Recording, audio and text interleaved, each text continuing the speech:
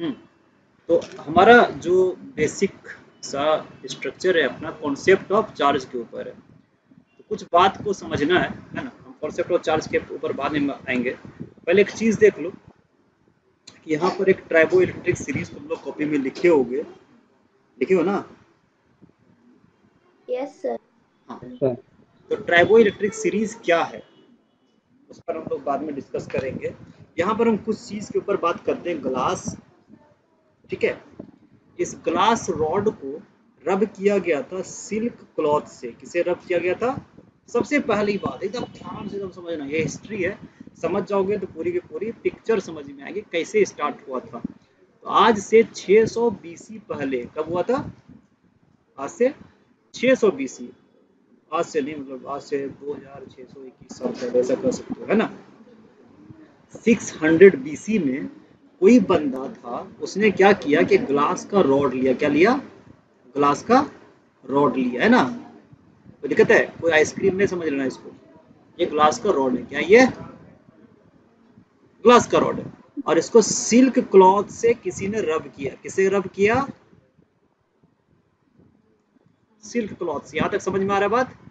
यह है glass rod रब हाँ। सिल्क क्लॉथ कोई दिक्कत है। ये उसने किया है ना ध्यान समझ में। जैसे उसको रब किया तो आ, एक ग्लास रॉड को रब किया फिर एक और ग्लास रॉड को रब किया उसने है ना इस तरह से करके है ना। आ रही बात समझ में रब करने का मतलब समझ आ रहा ना कि एक को ऐसे ऊपर से पोछ दिया जैसे हम लोग बाल में ऐसे करते हैं ना इसको ऐसे उसके कागज़ वगैरह चिपकने लगता है ना? यस सर हाँ तो वही किया गया। यस सर हाँ तो इस ग्लास रॉड को जब सिल्क क्लॉथ से रब किया तो देखा दोनों ही ग्लास रोड एक दूसरे को रिपेल कर रहा था। क्या कर रहा था? रिपेल कर रहा था है ना? क्या कर रहा था ये दोनों? रिपल्जन शो कर रहा था. रिपेल हाँ पहला ऑब्जर्वेशन यही था। फ़र्स्ट ऑब्जर्वेशन पूरी दुनिया में यही था कि एक ग्लास रॉड को रब किया गया सिल्क क्लॉथ से ये रिपेल किया। कोई दिक्कत है?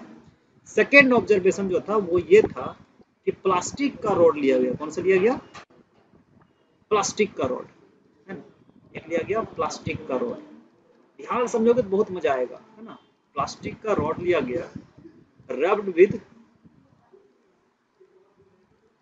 ठीक है? है ना? ये रैबिट फर या कैट फर कह सकते हो यहाँ पर। कैट फर किससे क्या किया गया? कैट फर से। अरे सुनिए यहाँ दिख रहा होगा तुम लोग को पॉलीथीन दिख रहा है ना टेफ्लॉन दिख रहा है क्या?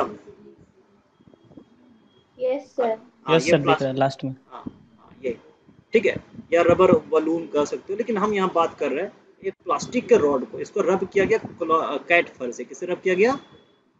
कैट फर से। एकदम अच्छे से बात समझ में आ रही है पहला हिस्ट्री क्लियर हुआ। एक दूसरा उसी समय में एक दूसरा बंदा था उसने प्लास्टिक प्लास्टिक रॉड को रब किया कैट फर से। जब इसको जाकर के आमने सामने में रखा तो देखा इसमें भी रिपल्जन शो हो रहा है। क्या हो रहा है यहाँ पर? ये भी रिपल कर रहा है है ना? ये बोला तुम उधर जाओ ये इधर जाओ। यहाँ तक सबको समझ आया? यस सर ठीक है। सर फिर से फिर से बात करते हैं। हुआ क्या था? पहला बंदा कोई था उसने क्या ऑब्ज़र्व किया कि ग्लास रॉड को रब किया सिल्क क्लॉथ से। दूसरे बंदे ने क्या किया? प्लास्टिक रॉड को रब किया कैट फर से। दोनों में रिपल्जन शो किया। क्या किया? क्या किया जी? हाँ। शो किया। अब ये रिपल्जन शो करने का झगड़ा था ये डिफरेंट था। क्यों डिफरेंट था समझना? इसी समय इसी एरा के पहले मैग्नेट की डिस्कवरी हो चुकी थी। क्या डिस्कवरी हो चुका था? Magnet magnet. मैग्नेट में हम लोग को पता है कि नॉर्थ पोल होता है और साउथ पोल होता है। है ना? ये सबको पता था। क्या क्या पता था? नॉर्थ पोल होता है और साउथ पोल होता है। और नॉर्थ के बगल में अगर हम नॉर्थ को लेकर के आएँगे, तभी यहाँ पर रिपल्जन शो होता है। या फिर कह सकते हैं कि साउथ के बगल में साउथ को लेकर के आएँगे, तभी रिपल्जन शो होता था। अदरवाइज़ दुनिया में ऐसा कोई थ्योरी नहीं था जिसमें कि अट्रैक्ट सॉरी रिपल्जन शो हो जाए। कहने का मतलब ये है कि तुम अगर नॉर्थ को ध्यान से मेरी बात को समझना तब एकदम समझ में आएगा कि क्या हो रहा था। यहाँ पर क्या हुआ था? अट्रैक्शन क्या हुआ? अट्रैक्शन होगा ना? अपोजिट पोल से अट्रैक्शन होगा। इतना बात समझ रहे हैं ना? यस सर हाँ। अभी इसी के साथ में अगर हम इसी मैग्नेट के पास अगर नॉर्थ और साउथ के पास आयरन या निकेल या कोबाल्ट ये तीन मटेरियल को लेकर के आ जाएँ तब भी इसको ये अट्रैक्ट करेगा। जिनको हम फेरो मैग्नेटिक सब्सटेंस बोलते हैं। क्या उसको? Ferromagnetic substance. एकदम समझ में आ रहा है कि कोई कष्ट है किसी को। आ रहा सर फिर सुनो नहीं समझ में आ रहा है फिर सुनो मेरी बात को ध्यान से। क्या कह रहे हैं? पहला ऑब्जर्वेशन यहाँ पर मैग्नेट की डिस्कवरी हो चुकी थी हम ये कहना चाह रहे हैं। मैग्नेट की डिस्कवरी अभी तक हो चुकी है जिसके बारे में लोग जानते हैं कि नॉर्थ पोल नॉर्थ पोल को रिपेल करता है साउथ पोल साउथ पोल को रिपेल करता है। नॉर्थ साउथ जब रहेगा तो अट्रैक्ट करेगा। साउथ या नॉर्थ किसी के साथ, या कह सकते एक मैग्नेट के साथ मैग्नेट के पास अगर कोई ferromagnetic substance such as iron, nickel, cobalt को डालेंगे तो अट्रैक्ट करेगा। साथ में एक और बात लोगों को पता था कि अर्थ है। क्या है? ये देखो कैसा अर्थ बना दिया। अर्थ है। ये अर्थ बोल होता है ना जी? अर्थ दैट अर्थ ऐसा। अर्थ के पास भी कोई चीज़ को रखेंगे तो वो अट्रैक्ट ही करता है। क्या करता है ये? इसी को क्या करता है? अट्रैक्ट करता है अर्थ भी यस सर है ना? यानी कि अट्रैक्शन हर बार हो रहा था। रिपल्जन होने के लिए यही एक कंडीशन होल्ड करता था। किसी को समझ में नहीं आया हो ऐसा बात तो बताओ। समझ गए यानी कि रिपल्जन होने के लिए एक ही मात्र दुनिया में कंडीशन था कि अब सिमिलर पोल्स के मैग्नेट को लेकर के आओ तो रिपल्जन होगा। अदरवाइज़ दुनिया में हर जगह सिर्फ़ अट्रैक्शन था अट्रैक्शन था। साथ में मैग्नेट सिर्फ़ और सिर्फ़ फेरो मैग्नेटिक सब्सटेंस को अट्रैक्ट करता है, ना कि ग्लास को माइका को वुड को पेपर ये जो अंबर दिख रहा है, ये सबको अट्रैक्ट नहीं करता है, किसी भी स्तर पर। अब जो दूसरा फेनोमेना ऑब्ज़र्व किया गया वो ये था कि ग्लास रॉड ग्लास रॉड को रिपेल कर रहा है। प्लास्टिक प्लास्टिक को रिपेल कर रहा है और रिपल्जन ऑब्ज़र्व हो रहा है नया तरह से। दिख रहा है ना बात? यहाँ तक बात समझ में आ रहा है? यस सर यस ये नया रिपल्जन का थ्योरी लोगों को समझ में कि ये क्या है भाई? ऐसा कैसे रिपल्जन शो कर सकता है? और ये तो मैग्नेट भी नहीं है। ठीक है ना? तो यहाँ से? एकदम नया कॉन्सेप्ट था। तो जिसके बाद लोगों ने कहा कि कहीं ना कहीं इन सब के ऊपर एक नया चीज़ है जो यहाँ से इसके ऊपर है। उसको बोला गया चार्ज क्या बोला गया इसको चार्ज ठीक है बात। इस पे क्या है? चार्ज फिर बोला गया कि ग्लास रॉड के ऊपर पॉजिटिव चार्ज है। क्योंकि पहले खोजा गया था, मेरे हिसाब से तो यही हुआ होगा। ठीक है? तो कन्वेंशनली इसको पॉजिटिव चार्ज बोल दिया गया। तो दिख रहा है पहले जो खोजा गया, उसको प्लस बोल दिया गया तो प्लस प्लस देखो रिपेल कर रहा है। और प्लास्टिक के ऊपर निगेटिव कर दिया गया। प्लास्टिक के ऊपर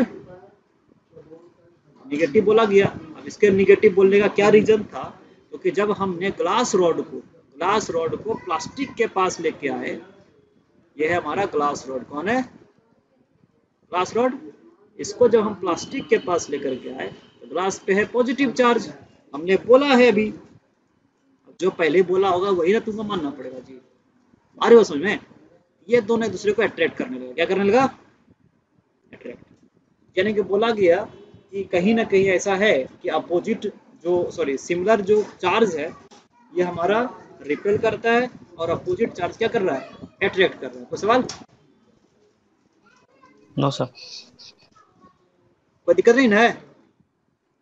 ये बात नो सर चलो ठीक। अब हम आगे बढ़ते हैं।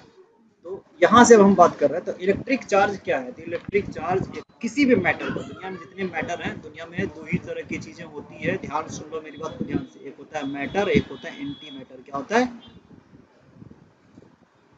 मैटर और एंटी मैटर किधर है?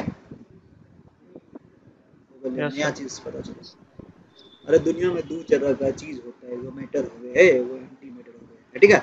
तो हर चीज़ के पास अपना कुछ ना कुछ प्रॉपर्टी होता है उसको बोलते हैं इंट्रिंसिक प्रॉपर्टी इंट्रिंसिक प्रॉपर्टी क्या है किसी किसी मटेरियल का? इंट्रिंसिक प्रॉपर्टी इंट्रिंसिक प्रॉपर्टी पर हम लोग खूब डिस्कस किए हैं याद करो मास हमारा एक बॉडी का इंट्रिंसिक प्रॉपर्टी है।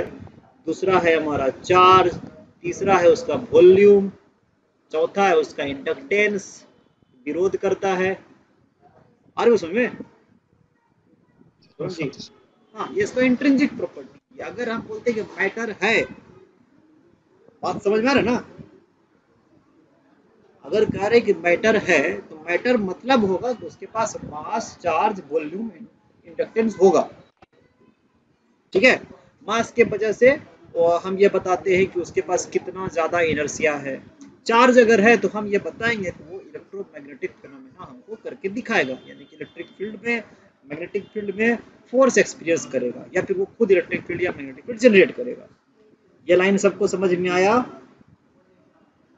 सर चार्ज चार्ज क्या है? एक इंट्रिंसिक प्रॉपर्टी है है ना? जिसके कारण से कोई भी मैटर या फिर कोई भी चार्ज एक्सपीरियंस करता है इलेक्ट्रिक फोर्स या मैग्नेटिक फोर्स है ना? ये उसको एक्सपीरियंस करता है। और ये हर समय इलेक्ट्रिक और मैग्नेटिक फेनोमेना शो करता है। यानी कि अगर इस पर हम डिस्कस करेंगे, जो अगला लाइन यहाँ पर लिखा हुआ है, ध्यान समझना। ये जो लाइन लिखा है, इसको ध्यान से पढ़ो। क्या लिखा हुआ है? Stationary electric charge produces electric field E यानी कि अगर कोई पॉजिटिव चार्ज है, ये क्या करता है? अपने चारों तरफ़ इलेक्ट्रिक फ़ील्ड जनरेट करता है। दिक्कत है? स्टेशनरी इलेक्ट्रिक रुका हुआ चार्ज अगर है। अगर ये चार्ज हमारा रेस्ट में है ये रेस्ट में है और कोई पॉजिटिव चार्ज क्यू है तो अपने चारों तरफ़ ये इलेक्ट्रिक फ़ील्ड जनरेट कर रहा है। और ये अगर यही चार्ज अगर यही चार्ज यही चार्ज अगर हमारा मूव करने लगा किसी वेलोसिटी से ये अपने चारों तरफ़ ऐसे ऐसे गोल गोल गोल गोल मैग्नेटिक फ़ील्ड बनाना स्टार्ट करता है। क्या करता है? मैग्नेटिक फ़ील्ड बनाता है कोई सवाल? याद है? Current carrying wire magnetic field generate करता है क्लास टेन में पढ़े थे हम लोग? यस सर है ना? देखो चार्ज मूव कर रहा है ना भाई? चार्ज मूव कर रहा है इधर से तो क्या होगा करंट इधर ही तो फ्लो करेगा। करंट अगर इधर फ्लो करेगा क्या करेगा? ऐसे गोल गोल गोल गोल मैग्नेटिक फ़ील्ड बनाएगा। याद आया? उड़ गए तो ते आ गया याद। चलो, कोई बात नहीं। तो यहाँ पर अभी दो बात सीखे अभी हम ज़्यादा कुछ नहीं सीखे बस दो बात सीखे क्या सीखे पहला कि अगर कोई चार्ज रुका हुआ है तो अपने चारों तरफ़ इलेक्ट्रिक फ़ील्ड जनरेट करेगा। और वही चार्ज अगर मूव कर रहा है तो वो मैग्नेटिक फ़ील्ड जनरेट करता है। कोई दिक्कत है? और दो तरह के चार्ज होते हैं पॉजिटिव और निगेटिव अगर किसी भी मैटर पे, देखो, ये अगर न्यूट्रल बॉडी है तो हम बोलेंगे इसके पास जितना ज़्यादा, है ना? अगर ये न्यूट्रल बॉडी है तो इसके पास जितना इलेक्ट्रॉन है उतना ही प्रोटोन भी है उतना ही प्रोटोन है तो हम कहते हैं इस पे न्यूट्रल है। अगर किसी के पास पॉजिटिव चार्ज है तो उसको बेचारे गम है। पॉजिटिव चार्ज का मतलब गम है। क्या है? कम है। हाँ कम नहीं है उसको गम है। कम नहीं है गम है उसको है ना? क्या है उसको? गम है।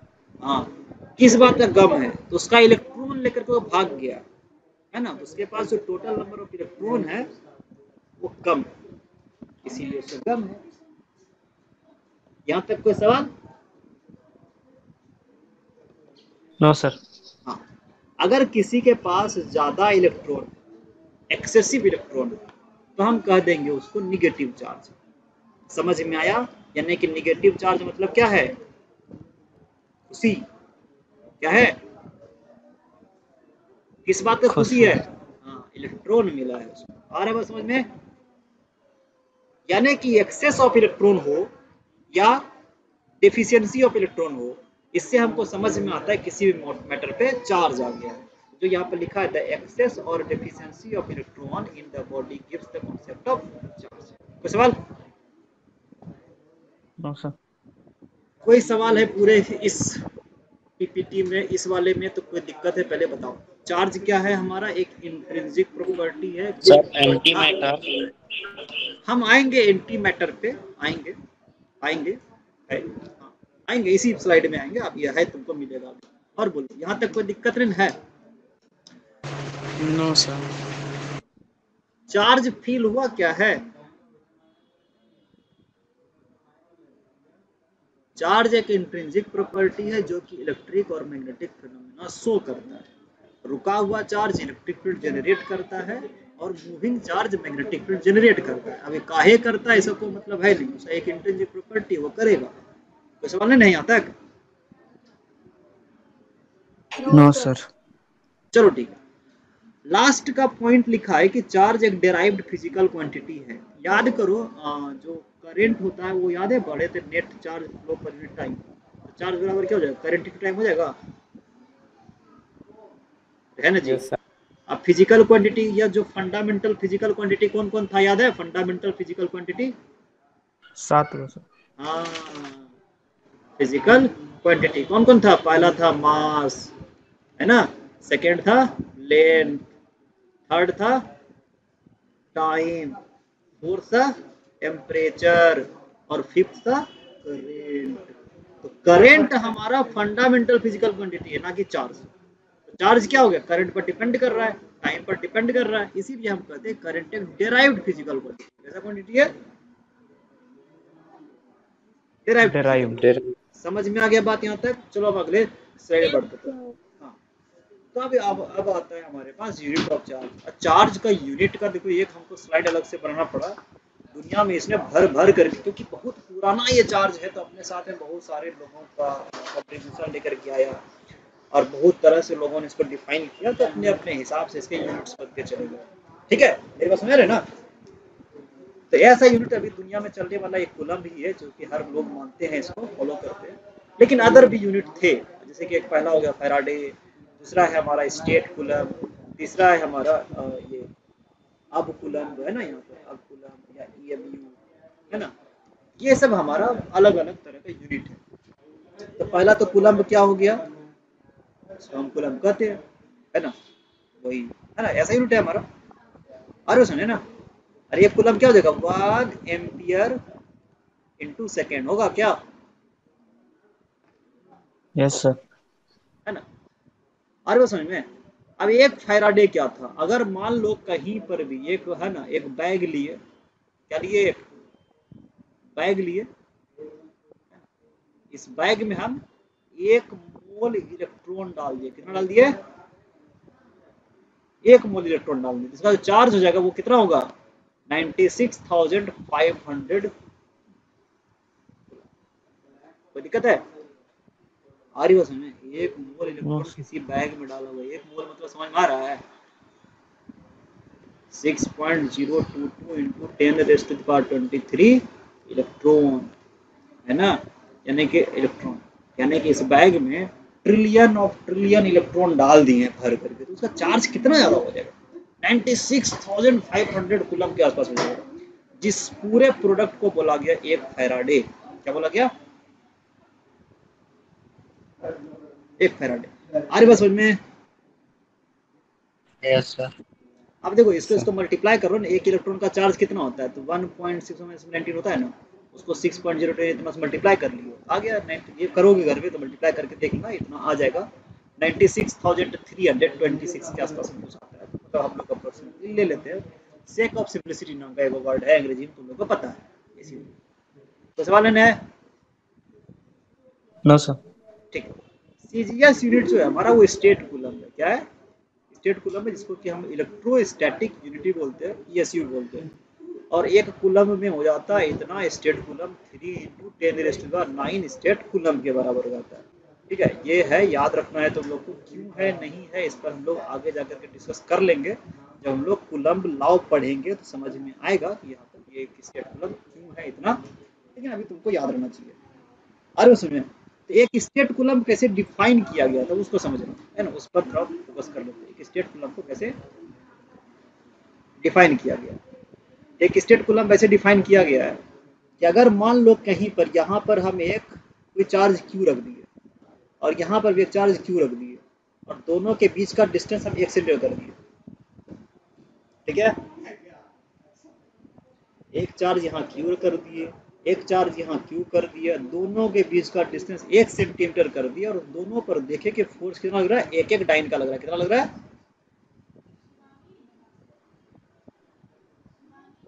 Hello hello hello yes sir हाँ हाँ देखा गया कि दोनों पे एक एक डाइन का फोर्स लग रहा है।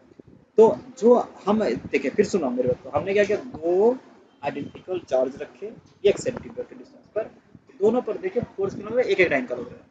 तो जो चार्ज होगा दोनों पर, वो होगा एक स्टेट कूलम के बराबर। बैठिए दिमाग में।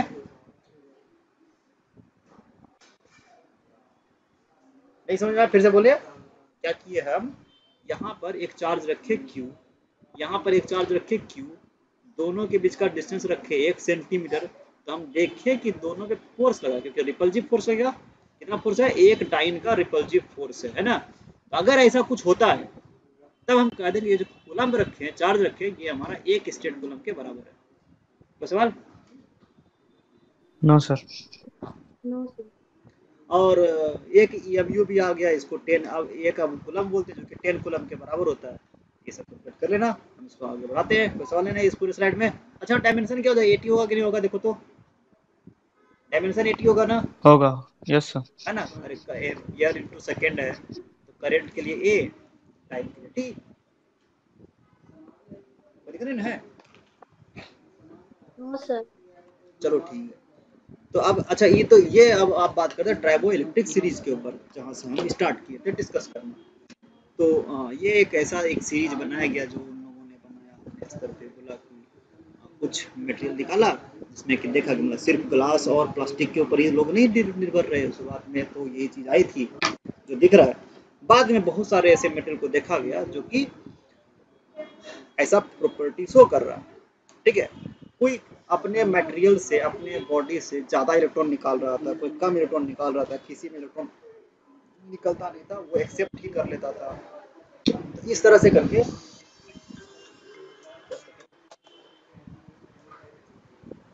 Hello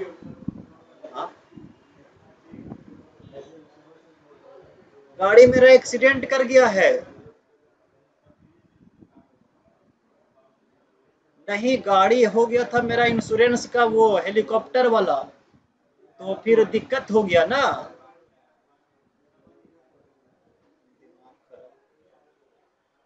Hello.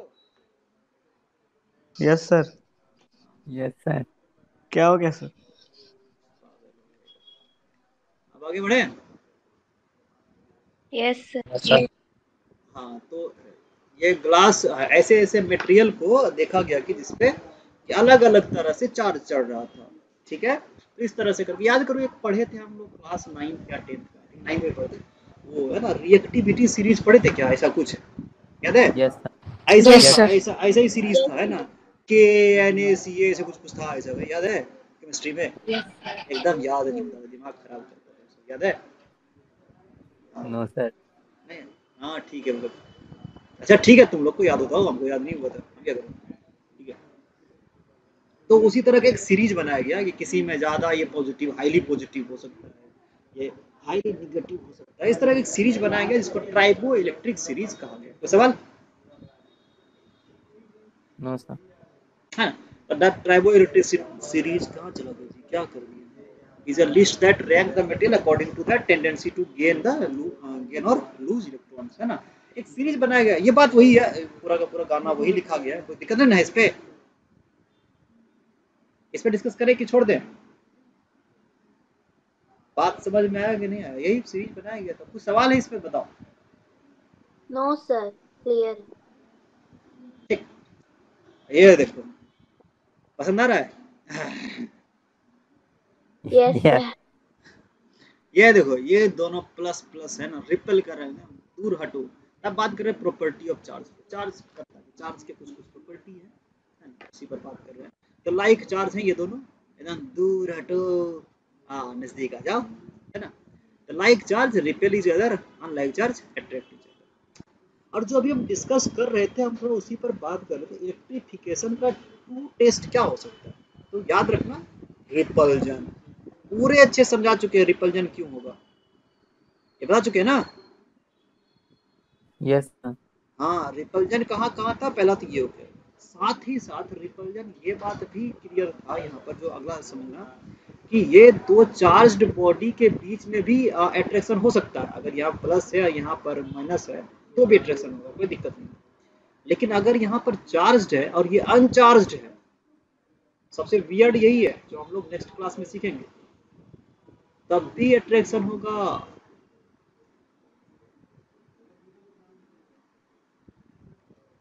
कैसे अगर हम तुमसे बात या फिर ऑब्वियसली निगेटिव चार्ज कर दे और यहाँ पर एक अनचार्ज बॉडी रख दे तब भी क्या होगा?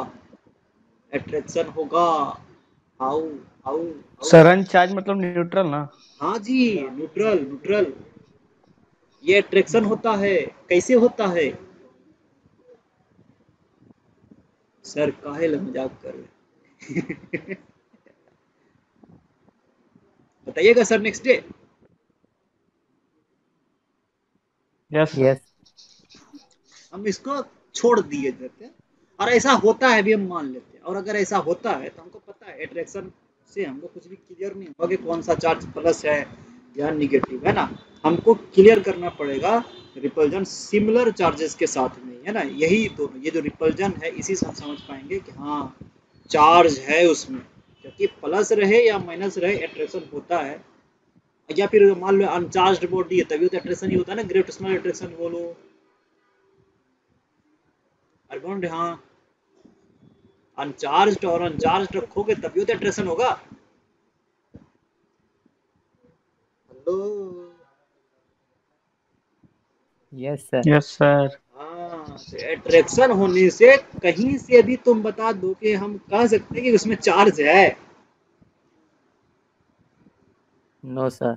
हाँ तो हमको किस पर जब फोकस करना पड़ेगा रिपल्जन पर एकदम एक सिंपल सा बोर्ड में क्वेश्चन आएगा कि ट्रू टेस्ट क्या है इलेक्ट्रिफिकेशन का क्या तुम लोग समझा पाओगे Yes, sir. sir. अगला स्लाइड बढ़े तो अगला है हमारा चार्ज एक स्केलर क्वांटिटी वेक्टर क्वांटिटी नहीं है। नहीं है तो नहीं है। इस पर डिस्कस क्या करेंगे? एडिटिव चार्ज जो होता है एडिटिव इन नेचर होता है तो चार्ज को हम लोग स्केलरली ऐड कर सकते हैं ना। जैसे सपोज़ करते हैं कि यहाँ पर किसी एक जगह पे यहाँ पर माइनस में फाइव कुलम चार्ज है कहीं पर प्लस में फोर कुलम चार्ज है माइनस में एट कुलम चार्ज है प्लस में ट्वेंटी फाइव कुलम चार्ज है तो पूछेगा यहाँ पर नेट चार्ज कितना है? क्या करना है सबको? सिंपली ऐड कर लेना। है कोई दिक्कत नहीं है ना? तो माइनस में five coulomb plus four coulomb minus में एट कुलम प्लस में ट्वेंटी फाइव कुलम सबको ऐड कर लेंगे, कितना हो जाएगा? देख लो तो ट्वेंटी और माइनस में four. I think sixteen coulomb आ रहा है क्या? देखो तो। अब है हमारा अगला अगला जो पिक्चर है, वो हमारा है, अगला जो स्लाइड है, वो हमारा चार्ज ट्रांसफरेबल होता है ना? तो अगर हम एक बॉडी को दूसरे बॉडी के साथ में कॉन्टेक्ट में लाते हैं तो चार्ज हमारा ट्रांसफ़र कर जाता है ना? एक बॉडी से दूसरे बॉडी में ट्रांसफ़र कर जाता है चार्ज सपोज़ करते हैं हमारे पास एक स्फेयर है ना? एक स्फेयर है, एक कंडक्टर ये ऑब्वियसली ये कंडक्टर के लिए कंडीशन होगा। सपोज़ कर लो, एक कंडक्टिंग कोई स्फेयर है, हम इसके ऊपर डिस्कस करना चाहते हैं। ये कंडक्टिंग स्फेयर है। और इस पर अगर हमने एक कोई चार्ज रॉड लेकर के आया इसके नियर बाय में बगल में कोई चार्ज रॉड लेकर के आए हैं। इस पे पॉजिटिव चार्ज है यहाँ से।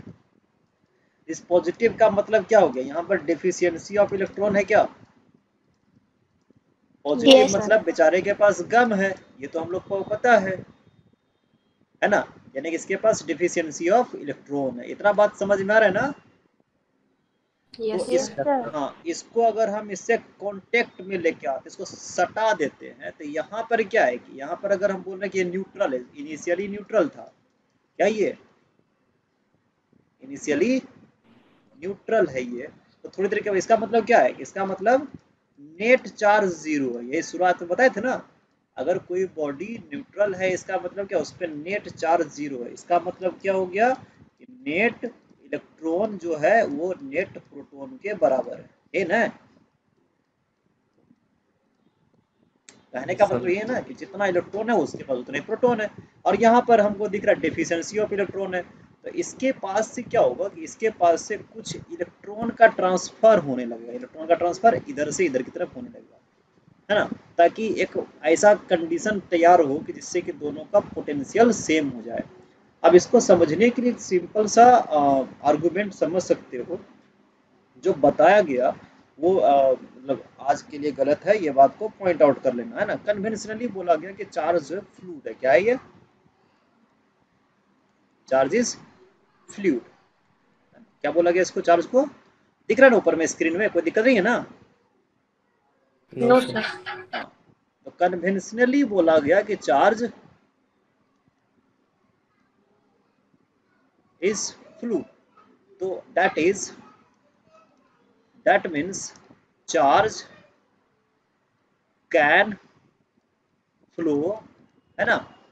फ्लो करेगा कहाँ से कहाँ तक? From higher potential higher potential to lower potential है ना? कोई दिक्कत है? सपोज़ करो कि एक है हमारे पास नियाग्रा फॉल्स है। क्या है? सुन भी नहीं की ये सब चीज़। नियाग्रा फॉल्स का नाम सुना है जी? नियाग्रा फॉल्स का नाम नहीं सुने हो? अरे पहाड़ पर जो होता है पानी गिरता है जिसको झरना और ना बोलते हैं ना। ऐसे नहीं गिरता नियाग्रा फॉल्स में पानी? अरे अमेरिका में है। कनाडा में सर। अच्छा कनाडा में देखो इसको पता है। Niagara Falls. ठीक है? तो यहाँ पर से देखो ये क्या है कि पानी ऊपर से नीचे गिर रहा है। पानी अगर ऊपर से नीचे गिर रहा है इसका मतलब क्या हुआ? ये जो है सपोज़ करिए इसको अब रेफरेंस लाइन ले लेते इसका एच हाइट है क्या? इसका मतलब यहाँ पर जो पानी है इसका पोटेंशियल ज़्यादा है। एकदम बात नहीं समझ में आया और यहाँ पर क्या है लोअर पोटेंशियल हुआ कि नहीं हुआ? यस सर देखो पानी कैसे जा रहा है? ऊँचा से नीचे की तरफ़ जाता है ना? तो हम क्या बोल देंगे? Water can flow from higher level to lower level है ना? मतलब higher potential to lower potential that's why charge also flows from higher potential to lower potential ऐसा लोगों ने माना। कोई सवाल? नो सर नो सर बोला गया कि चार्ज फ्लूड है इसीलिए। तो जब हम यहाँ पर भी कह रहे हैं कि चार्ज ये पॉजिटिव चार्ज है तो चार्ज का फ्लो इधर से इधर की तरफ़ हुआ। चार्ज फ्लो इधर से इधर हुआ। लेकिन एक्चुअली में जब हमको अब पता है कि क्या फ्लो करता है वो तो इलेक्ट्रॉन है। इलेक्ट्रॉन इधर से इधर की तरफ़ फ्लो करता है। जब हम बोलते हैं कि पॉजिटिव चार्ज है मतलब वो हायर पोटेंशियल पर है। अरे वो समय अगर कोई न्यूट्रल है तो हम उसको बोलते हैं ज़ीरो पोटेंशियल पर है। न्यूट्रल है मतलब? ज़ीरो पोटेंशियल हुआ। तो देखो तो हाई से लो की तरफ़ चार्ज फ्लो किया कि नहीं किया?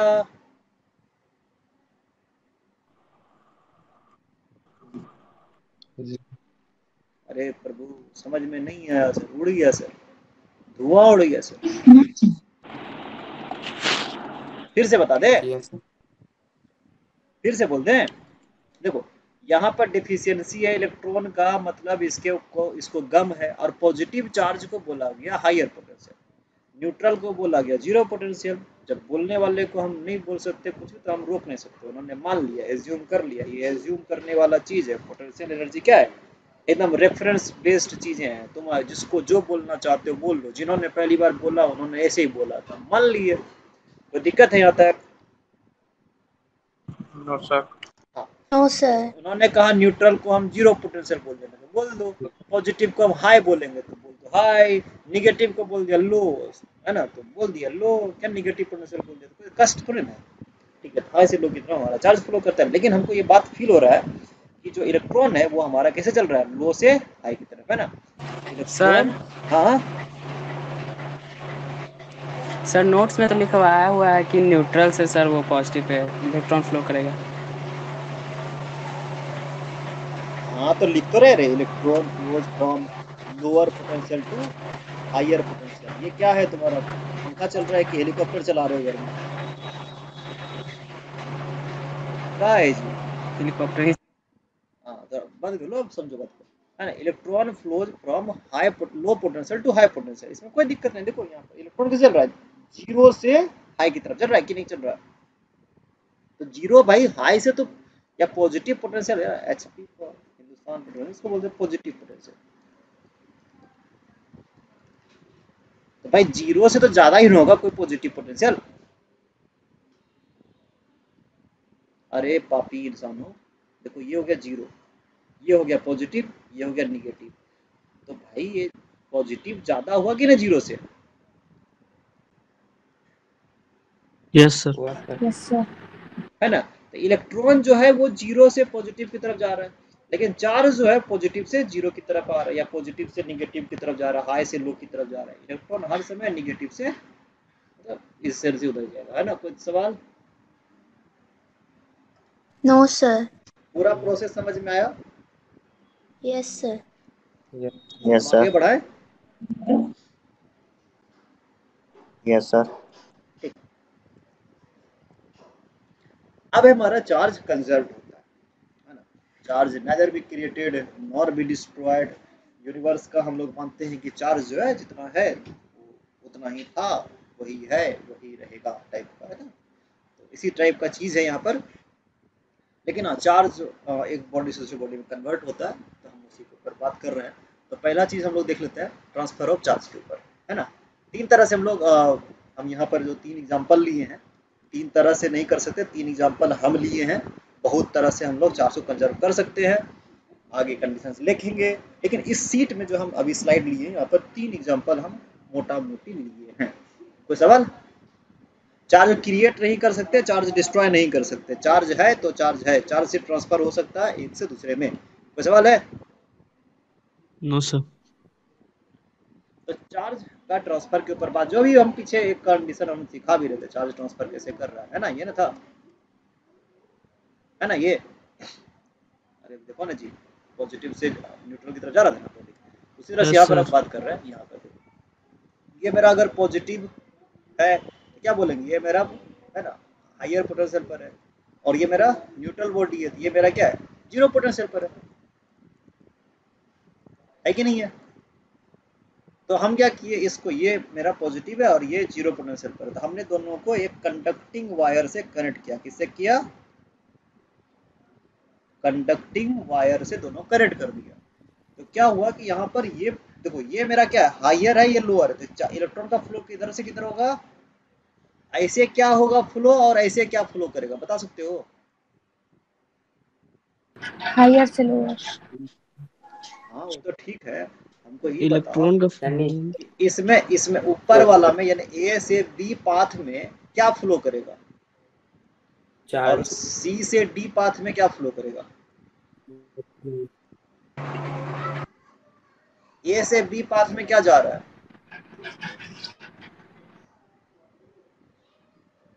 ए से बी पाथ चार्ज ऐसे हाँ चार्ज चार्ज पॉजिटिव से हाँ दैट्स अ क्यू है ना? That's a charge moving from higher potential to lower potential but electron flows from this side to this side इतना समझ में आ गया सबको?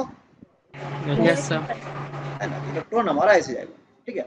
तो होगा क्या यहाँ पर? जैसे दोनों कंडक्ट ये कंडक्टिंग स्फेयर है। हमने दोनों कंडक्टिंग वायर से कनेक्ट कर लिया। तो क्या हुआ? हमारा इधर से इधर की तरफ़ चार्ज का फ्लो होने लगा। कोई सवाल? चार्ज फ्लो ऐसे क्या? इलेक्ट्रॉन का फ्लो ऐसे हुआ चार्ज का फ्लो ऐसे हुआ। इससे क्या हुआ कि यहाँ पर तब तक ये होते रहेगा जब तक कि दोनों का पोटेंशियल सेम नहीं हो जाए। दिमाग में बार बार बैठा लो इस बात को कि चार्ज सेम नहीं होगा पोटेंशियल सेम होगा। अगर ये बात नहीं समझ में आ रहा तो हम एक एग्जांपल से फिर समझाते हैं। सपोज़ करो कि अगर एक कंटेनर ले लिए है ना इस तरह का। ठीक है? एक बड़ा सा कंटेनर ले लिया दिख रहा है? इसमें पानी शुरुआत में यहाँ तक भरा हुआ है बाद में यहाँ तक भरा हुआ है। और बीच में हमने एक टैप लगा दिया है। क्या फील हो रहा है मेरा बात? यस सर हाँ। अब एक बात बताओ कि पानी का लेवल अभी इधर ज़्यादा है कि ना है? इस आर्म में लेफ़्ट आर्म में पानी ज़्यादा है। राइट साइड वाले कम है। तो पानी का जैसे हम इसको नॉब को खोलेंगे पानी का फ्लो इधर से इधर की तरफ़ होना स्टार्ट हो जाएगा। यस सर कब तक होगा पानी का फ्लो। जब तक कि जब तक दोनों दोनों दोनों में पानी बराबर ना हो जाए कि दोनों का लेवल बराबर ना हो जाए। लेवल बराबर। जल्दी बताओ। Level level. सर लेवल जब तक बराबर हो हाँ। जाएगा। अगला पिक्चर जो अगर हम यहाँ पर सोचें भी तो हमको अगला आई थिंक ऐसा ही पिक्चर दिखेगा थोड़ा सा है ना? देखो इधर पानी ज़्यादा है इधर पानी कम है। लेवल्स बराबर हो गए यानी कि दोनों का पोटेंशियल सेम हो गया। है ना? इस कंडीशन में दोनों का पोटेंशियल सेम हो चुका है ना? चार्ज का फ्लो ऐसे हुआ। लेकिन अगर हम ऐसा एक सिचुएशन क्रिएट करें कि दोनों का कंटेनर का जो सेप है वो सेम ही ले ले तब तो हम कहेंगे सर लेवल भी बराबर होगा और पानी भी बराबर हो जाएगा। ऐसा हो जाएगा ना? अगर Yes, दोनों आर्म का शेप साइज़ सब सेम ले लें तब हम कह देंगे सर पोटेंशियल तो बराबर होबे करेगा पानियो बराबर हो जाएगा। वही हम ये कंडीशन लिए हैं यहाँ पर कि हमने स्फेयर लिया है आइडेंटिकल स्फेयर क्या लिखे यहाँ पर? Due to both identical sphere spherical body connected with conducting wire ठीक है तो इसमें क्या हुआ कि चार्ज इक्वली इसलिए डिस्ट्रीब्यूट करवाए हैं यहाँ पर plus four coulomb plus four coulomb आ रही बात समझ में? नहीं तो ऐसे हम नहीं करवा सकते। कोई सवाल नो सर समझ में एकदम नहीं आया? आ गया सर से समझ में। ऐसे कैसे समझ में? हाँ, यहाँ तक समझ में आ रहा बात ना? Hello yes sir yes sir चलो ठीक है तो अगर हम इसी में ट्रांसफ़र ऑफ़ जो कंडक्टिंग ऑफ़ बॉडी है हम इस पे बात ही कर रहे थे। यहाँ तक कोई समझ दिक्कत नहीं है। अगला है हमारा पेयर प्रोडक्शन क्या है? अच्छा इसको और समझाना है क्या? देखो इनिशियली बोथ बॉडी सेपरेटेड है ना?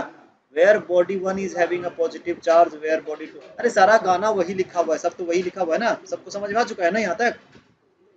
यस सर यस सर हाँ, चलो आगे बढ़ते हैं। अगला है पेयर प्रोडक्शन दो एग्जांपल है जो बहुत अच्छा है। एक पेयर प्रोडक्शन और पेयर एनिहिलेशन है। ये लोग ऐसा मानते हैं कि ये वायलेट करता है कि चार्ज क्रिएशन हो रहा है। लेकिन ऐसा कुछ है नहीं क्योंकि यहाँ पर गामा फोटोन है। फोटोन इज़ द एनर्जी क्या है ये? ये एनर्जी पैकेट है याद है? एच न्यू याद है? अरे बोलो सर एच न्यू पढ़े होगी? नहीं पढ़े हो एच न्यू एक गामा फोटोन अगर है ये है ना तो ये फोटोन को अगर हम नियर है ना न्यूक्लियस के नज़दीक में लेके जाते हैं तो वहाँ पर से ये एक इलेक्ट्रॉन इसको कि मैटर कह सकते हैं मैटर वर्जन कह सकते हैं और इसका anti matter version of electron इसको? Anti matter version of electron ये इसको पॉजिट्रॉन कह रहे हैं। ये बनता है। तो ध्यान से देखो, ऊपर में मास को दिखाते हैं। किसको दिखाते हैं? और नीचे में चार्ज को दिखाते हैं। तो एनर्जी के पास ना तो मास है, ना ही चार्ज है। तो बाद में देखो मास का कंजर्वेशन भी हो रहा है। देखो ज़ीरो मास इसका भी है ज़ीरो मास इसका भी है। तो मास भी कंजर्व हो गया। साथ ही साथ चार्ज का भी देखो स्थिति। माइनस वन प्लस वन कितना मिला? ज़ीरो मिला? यस सर यस सर है ना? अब ये जो बहुत बड़ा बवंडर है कि एक मैटर और एक एंटी मैटर दुनिया में हम लोगों का सेवंथ क्लास या आई थिंक सिक्स क्लास में मैटर क्या होता है? जो स्पेस ऑक्यूपाई है दुनिया में जितना हमारा यूनिवर्स में सिर्फ़ मैटर ही मैटर है बहुत बहुत ही कम एंटी मैटर चीज़ें हैं जिसमें भी पॉजिट्रॉन वगैरह है ना? हमारा यूनिवर्स सिर्फ़ मैटर से बना हुआ है। मैटर में प्रोटोन ये मास है चार्ज। करते हैं। हाँ आवाज़ नहीं आ रही है। आवाज़ आ रही है अब? यस सर सर आप Yes, बात sir. करते अभी। ठीक है आवाज़ आवाज़ आवाज़। आवाज़ सबको आ रही है अच्छे से? Yes sir yes sir okay तो ऐसा एज्यूम किया गया कि मैटर वर्जन दुनिया में दो तरह की यूनिवर्स में हमारे दो तरह की चीज़ें हमारे यूनिवर्स में दो तरह की चीज़ें एक है मैटर और एक है एंटी मैटर ठीक है? तो एक है मैटर और एक है एंटी मैटर इस मैटर और एंटी मैटर के कोलिजन से एज्यूम करते हैं लोग की एनर्जी निकलता है और उसी एनर्जी से देखो मैटर और एंटी मैटर का क्रिएशन भी होता है। ठीक है? तो वही कह रहा है कि अगर हम फोटोन को न्यूक्लियस के नज़दीक में रखते हैं तो एनर्जी जो फोटोन का होता है, वो कन्वर्ट कर जाता है इलेक्ट्रॉन पॉजिट्रॉन पेयर में। कोई दिक्कत है। जैसे हम लोग पढ़ेंगे न्यूक्लियर फिजिक्स में, जब या फिर मॉडर्न फिजिक्स में पढ़ेंगे, ठीक है, या फिर हायर स्टडीज़ में तुम लोग पढ़ोगे। हम इतना यहाँ समझाने की कोशिश कर रहे थे कि मास भी कंजर्व है और चार्ज भी कंजर्व है।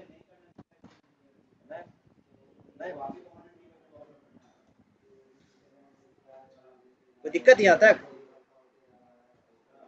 No sir sir. एक बार फिर से समझा दीजिए लीक हो गया। हाँ बोलिए सर। सर लीक हो गया था एक बार फिर से समझा दीजिए हाँ टेक्निकल इशू तो आ गया। अगला अगला है यहाँ से टेक्निकल इशू के साथ में पेयर एनिहिलेशन ठीक है? तो पेयर एनिहिलेशन में है कि इस बार अगर हमने ये देखो ये क्या है हमारा इलेक्ट्रॉन है क्या? और ये क्या है हमारा? पॉजिट्रॉन है। ध्यान समझना ये बात। ठीक है?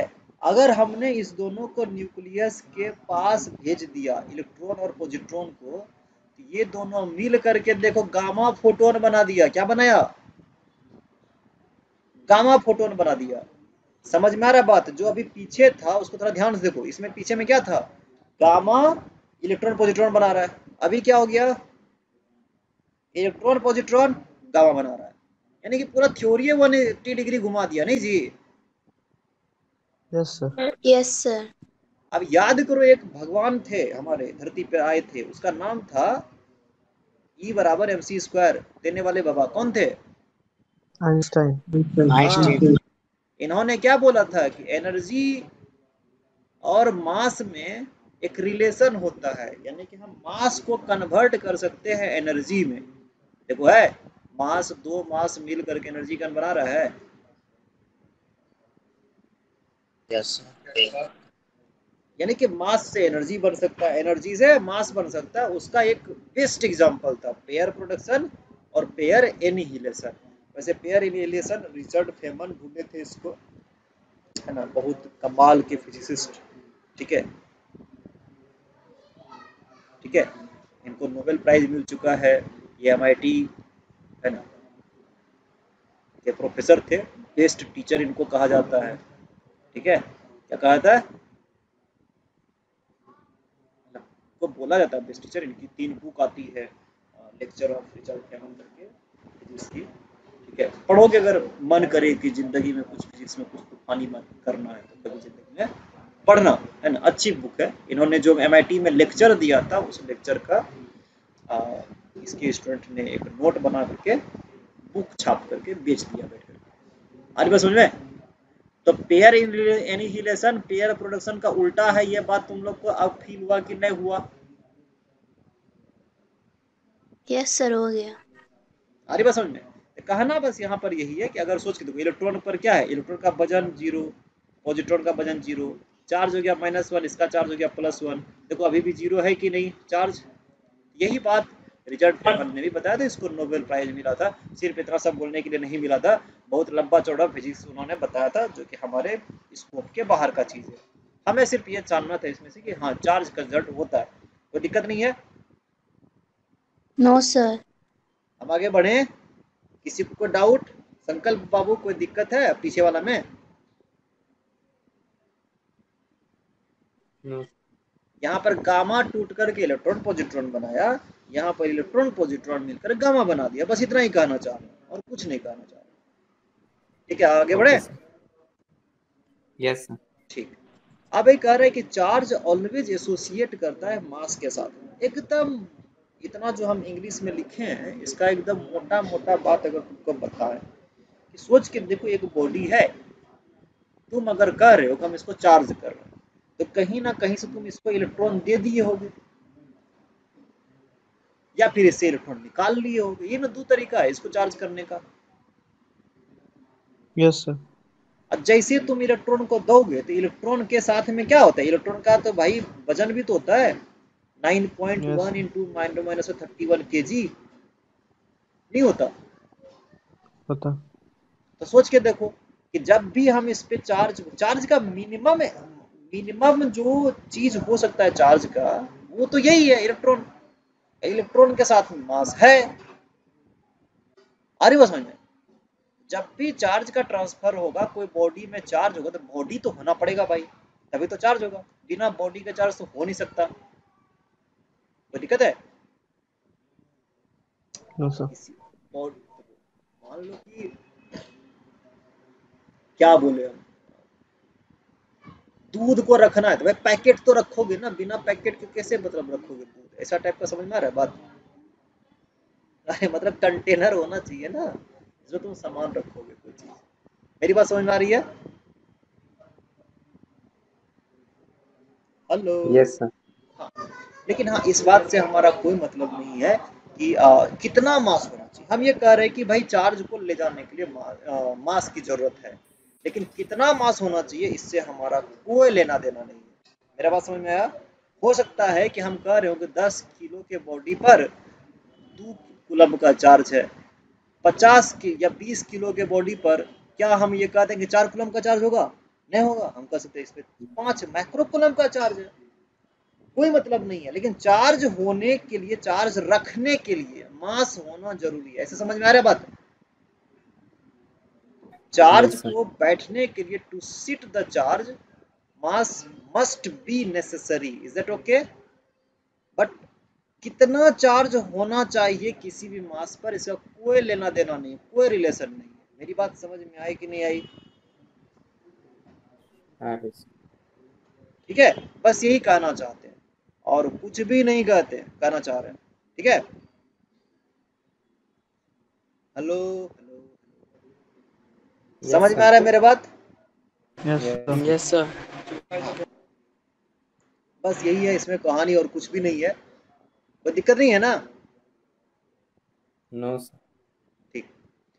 अगला है हमारा चार्ज क्वांटाइज्ड होता है। अब ये सबसे इम्पोर्टेंट सा हमारा टॉपिक है पूरे प्रॉपर्टी ऑफ़ चार्ज में। चार्ज क्वांटाइज्ड होता है और इस पर बहुत सारे न्यूमेरिकल बनाने हैं। फुल द बेसिक्स आप आपको बताते हैं अभी हम एक बॉडी लिए थे इस बॉडी पर अगर हम कह दें कि चार्ज हमको रखना है तो भाई एक इलेक्ट्रॉन को ला करके रखोगे या दो इलेक्ट्रॉन को ला के रखोगे? मेरी बात समझ आ रही है? अगर तुम एक इलेक्ट्रॉन को ला के रखे जो Q जो बनेगा वो कितना होगा? 1.6 point six into ten minus में नाइनटीन प्लस में होगा या तो माइनस में होगा? कम हो जाएगा या तो खुशी होगा? यही दूगा बात होगा कि नहीं होगा? अगर एक इलेक्ट्रॉन को लेके आए हो तो। यस इतना बात समझ अगर हम मान लो दो इलेक्ट्रॉन को लेके आए तब इस कंडीशन में चार्ज कितना हो जाएगा बताओ? टू इंटू हाँ माइनस एन हो? जाएगा जी। प्लस या माइनस इतना तो गम या खुशी टाइप का होगा बात। अगर हम एक बॉडी लिए है ना? ये बॉडी लिए हम ये कह रहे हैं कि इसमें से टेन इलेक्ट्रॉन को निकाल करके यहाँ से यहाँ भेज दिए। तो हम कह देंगे सर इस पे जो चार्ज हो जाएगा दस गुना one point six into ten minus में नाइनटीन कुलम्ब क्योंकि इसको मिला है इसलिए खुश हो गया है निगेटिव चार्ज दे दिए और इस पे गम हो गया है इसका कितना हो जाएगा? Ten into one point six into ten minus में नाइनटीन कुलम्ब किसमें होगा? प्लस में चार्ज हो जाएगा। कोई सवाल है? नो सर मेरी बात समझ में आई कि नहीं आई? यस सर समझ आ गया। भाई तुम अगर एक लाख इलेक्ट्रॉन को इधर से उधर का ट्रांसफ़र करो तो मतलब एक लाख गुना वन पॉइंट कुलम का चार्ज तो आएगा ही ना, क्योंकि मिनिमम चार्ज पॉसिबल इतना हो सकता है कि तुमको कम से कम एक इलेक्ट्रॉन को तो निकालना ही पड़ेगा इधर से उधर। तभी तुम किसी बॉडी पर मिनिमम चार्ज भी फाल करवाओगे, कि नहीं करवाओगे?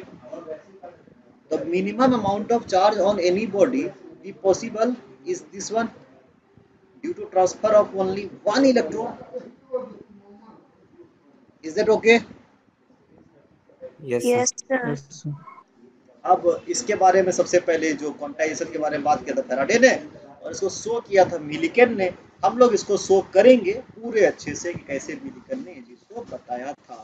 कोई दिक्कत नहीं है हम इसको पढ़ेंगे। कोई सवाल यहाँ तक? नो सर अब इस पूरे कहानी में एक छोटा सा कॉन्सेप्ट है जो कि आगे मिलेगा हमको। उम्मीद करते हैं। यहाँ पर होना चाहिए ये कॉन्सेप्ट ऑफ़ क्वार्क अब इस पर आएँगे। अभी हम पहले फिर से यहीं पर सीट करते हैं है ना? चलो इसलिए तो यहाँ पर एक छोटा सा पॉइंट लिखा है देखो ध्यान से वेयर क्यू बराबर एन हो जाएगा। देखो एन जितना नंबर ऑफ़ इलेक्ट्रॉन तुम ट्रांसफ़र कर रहे हो और ई ई ये ई है। ई का वैल्यू होता है ना? ई का वैल्यू होता है वन पॉइंट कोई दिक्कत है? ई अगर कहीं लिखा हुआ है नॉट इलेक्ट्रॉन ई मतलब e is a symbol of this much amount of तो चार्ज ऑफ़ इलेक्ट्रॉन नहीं। इस सिंबल का वैल्यू है ये। है ना चार्ज के लिए ही है। अब ये चार्ज मेरा निगेटिव है तो माइनस में लिखनी है पॉजिटिव है तो प्लस में लिख देंगे कोई दिक्कत? ये प्रोटॉन के लिए भी तो है। प्रोटॉन का भी तो चार्ज इतना ही होता है। यस सर आया समझ में? यस सर तो यहाँ पर क्या लिखा है? Where n is integer n कैसा होना चाहिए? इंटीजर होना चाहिए। एन है कि मतलब सर आधा कोई इलेक्ट्रॉन इधर से उधर घुस गया। आधा इलेक्ट्रॉन रास्ता में कोई खा गया। है ना? जैसे एप्पल था ना एप्पल का पूरा एप्पल तो देता नहीं है कोई। देता है क्या? डेढ़ लाख रुपया दे दोगे तभी तुमको एप्पल पूरा नहीं मिलता है ना? खाया हुआ एप्पल मिलता है। देखा है जी? यस वैसे ही चीज़। है ना? वैसा नहीं होना चाहिए। यहाँ पे पूरा का पूरा बात होना चाहिए। है ना? ये नहीं कि सर पाँच साढ़े पाँच को इलेक्ट्रॉन सर इधर से उधर भेज दिया। साढ़े दस को इलेक्ट्रॉन इधर से इधर भेज दिया। सवा दस को इधर से ढाई को इलेक्ट्रॉन उधर से। वैसा नहीं काम चलेगा। जब भी जाएगा तो पाँच छ सात ऐसा ही होगा। कोई दिक्कत है? मेरी बात समझ में आ रही है? अब इसमें छोटा सा छोटा सा एक वर्ड में स्टूडेंट को फंसाया जाता है। वो एकदम पूरा बाहियात सा वर्ड है, लेकिन हाँ लोग फंसाते हैं, उसको ध्यान समझ लो मेरी बात को ध्यान से। कुछ है नहीं पता नहीं क्यों लोग फंसते हैं और फंसाने वाले को भी क्या मज़ा आता है। कहेगा कि मैक्रोस्कोपिक लेवल पे हम क्यू बराबर एनी तो लिख सकते हैं मैक्रोस्कोपिक लेवल पर नहीं लिख सकते। इसका क्या मतलब है, हमको इस सेंस में नहीं समझ में आया ठीक है, पहले बात समझो कि हम बोले क्या। कहेगा माइक्रोस्कोपिक लेवल पे यानी कि अगर हम बोल रहे हैं कि आ, सर पाँच इलेक्ट्रॉन को लेके गए हैं साढ़े पाँच इलेक्ट्रॉन लेके गए हैं ऐसा नहीं चलेगा। साढ़े पाँच नहीं चलेगा पाँच चलेगा। छह चलेगा सात चलेगा चलेगा। ठीक है यहाँ तक बात समझ में आ रहा बात? अगर हम Q बराबर लिख दें ध्यान समझना Q बराबर लिख दें 95 E सही है क्या गलत है? सही है। सही है। लेकिन अगर हम बोल दें कि कहीं पर साढ़े पाँच लाख इलेक्ट्रॉन को लेके गए हैं साढ़े पाँच लाख इलेक्ट्रॉन लेके गया यहाँ तो फाइव पॉइंट फाइव दिख रहा है ना सर? यस सर तो क्या ये ये लिखना गलत है कि सही है? गलत सही है। सही है। सही है। देखो तुम्हारे लिए ही है। समझ में आ रहा है? तुम्हें जब सर जैसा स्टूडेंट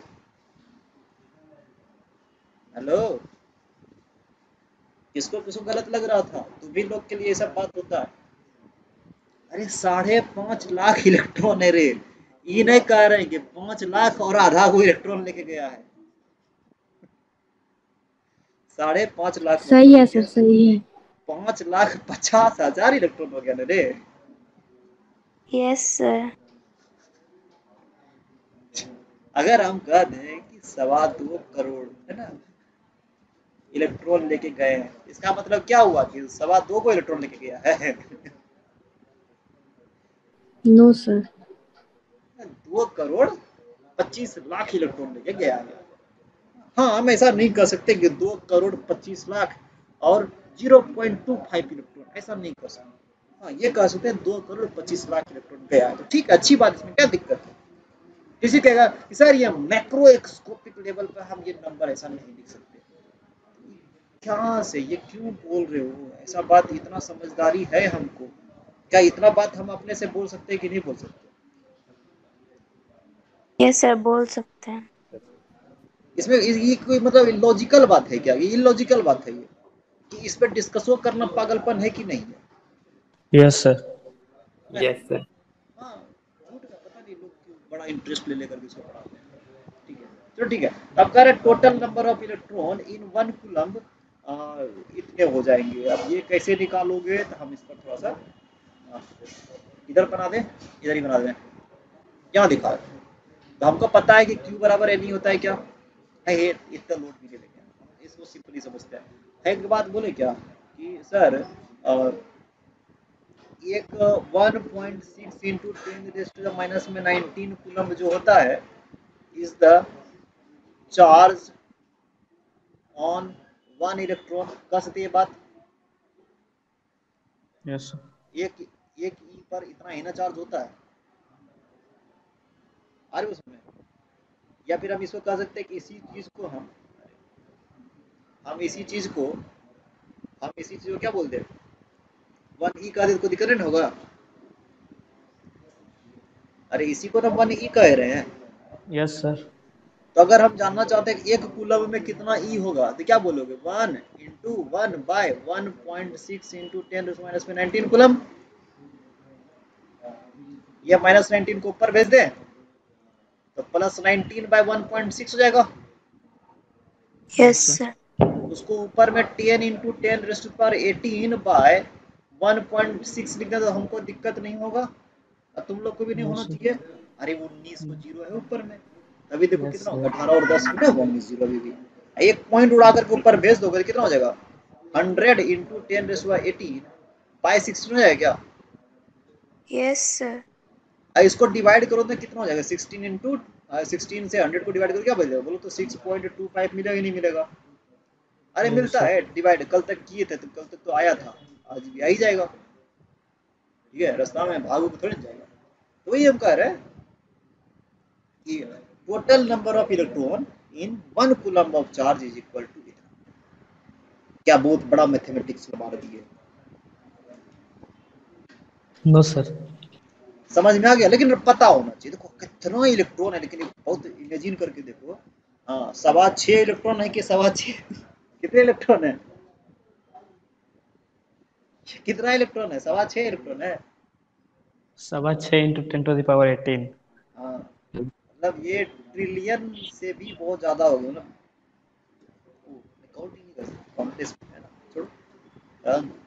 अच्छी। अगला प्रॉपर्टी हमारा चार्ज इज़ इनवेरिएंट हाँ बोलिए सर बोलिए सर। सर उसमें n का वैल्यू माइनस में भी दिया होता है तो कोई माइनस फाइव इलेक्ट्रॉन कैसे दे सकता है? अरे हम n के जगह पे माइनस फाइव एक इंटीजर है तो चार्ज तो यहाँ पर माइनस भी हो सकता है। ई जो है हम करें ई ये ई जो है उसका वैल्यू ये है। लेकिन चार्ज तो निगेटिव भी होता है तो निगेटिव के लिए तुम यहाँ माइनस में टेन ई करोगे तब ना तुमको माइनस में चार्ज मिलेगा। जैसे कि यहाँ पर, देखो यहाँ पर यहाँ पर टेन इलेक्ट्रॉन आया तो आया, ये खुश हो गया तो खुश की खुशी के लिए क्या लिखेंगे माइनस में टेन और ई के जगह पे इतना। इसने 10 इलेक्ट्रॉन दिया, बेचारा गम में सॉरी हाँ गम में चला गया तो गम के लिए क्या करेंगे? प्लस ये तो हम पहले बता चुके हैं, गम के लिए प्लस बोलते हैं। यहाँ n तो नंबर डिनोट कर रहा है ना सर सर नहीं sir n is a integer n integer है सर तब हो सकता है तो कोई दिक्कत नहीं और इंटीजर हमारा प्लस माइनस दोनों होता है। कोई दिक्कत है? नो सर नो सर अभी आया समझ में? यस सर Yes, लॉजिक हाँ लॉजिक लगा करके करना है जी उतना भी प्लस माइनस लेकर के चलोगे तो फिर कचरा हो जाएगा लेकिन अपना दिमाग लगाओगे थोड़ा सा कि सर कौन दे रहा है कौन ले रहा है उसी के हिसाब से हम काम करेंगे। है ना इतना तो समझ सकते हैं। दिक्कत है। नो सर नो सर अब अगला पॉइंट हमारा चार्ज इनवेरिएंट होता है। अब इनवेरिएंट का मतलब हो गया कि चार्ज जो है ये एक डिफरेंट सा अप्रोच है ध्यान समझना अ, समझना है इसको। तो, तो मास के साथ में एक प्रॉब्लम क्या है कि मास जो है, वो m not by root over one minus b square by c square होता है। इसको स्पेशल थ्योरी ऑफ़ रिलेटिविटी बोलते हैं और इसको बोलते हैं रिलेटिविस्टिक मास क्या उसको? रिलेटिविस्टिक मास कोई दिक्कत है? अगर हम बोल दें कि वेलोसिटी जो है मतलब हमारा बहुत ही कम है 10 मीटर पर सेकेंड या 50 मीटर पर सेकंड चल रहा है तो उसका मास चेंज नहीं करता। ये बात समझ में आ रहा है? जैसे हम ही बैठे हुए हैं और हम ही गाड़ी से जाने लगे कहीं पर तो मेरा क्या वज़न बढ़ जाएगा क्या? ऐसा होता है क्या? नो no, सर तुम घर से निकलते हो साठ किलो के कोचिंग में आते ही या फिर टेंपू पर जब बैठे रहते हो सौ किलो को जाते हो क्या? नो no, सर ऐसा तो नहीं होता है। सीधी बात है। लेकिन दिक्कत ये यहाँ पर नहीं होती कि नॉर्मल स्पीड्स में हमारा बहुत बड़ा इशू नहीं है। जब स्पीड अप्रोच करने लगे लाइट का स्पीड तब मामला है ना अलग हो जाता है।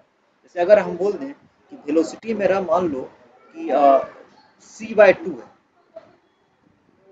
अरे उसमें अगर वेलोसिटी स्पीड ऑफ़ लाइट से जस्ट आधा है, तब देखो तो मास कितना हो जाता है, देखो तो एम बराबर क्या हो जाएगा? M not by root over one minus में c square by four c square ऐसा कुछ आएगा यस सर कट जाएगा ना? देखो तो क्या आ गया? फोर यानी कि टू एम नॉट बाय चार में से एक चला गया थ्री तो रूट थ्री ऐसा कुछ आएगा क्या? यस सर अरे बस और अगर हम यहाँ से सॉल्व करें इस चीज़ को ये कितना आ जाएगा जी? Two divided by one point seven three two लगभग लगभग वन पॉइंट फाइव टू के आसपास में आ रहा है। One point five two times of m not हो जाएगा।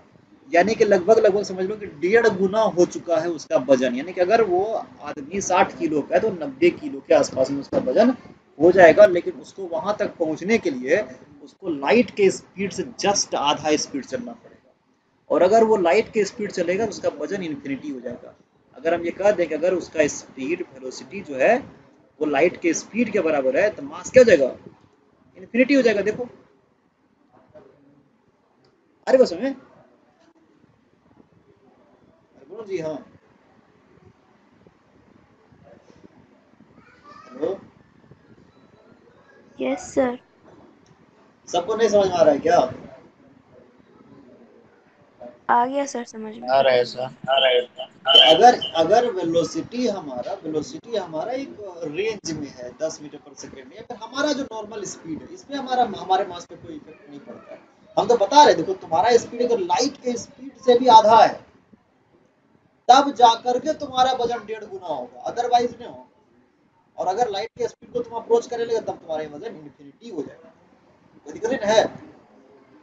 ये है वज़न के साथ में खेला। लेकिन ये मामला ये मामला हमारा चार्ज के साथ में नहीं है। चार्ज ऐसे नहीं बदलता है।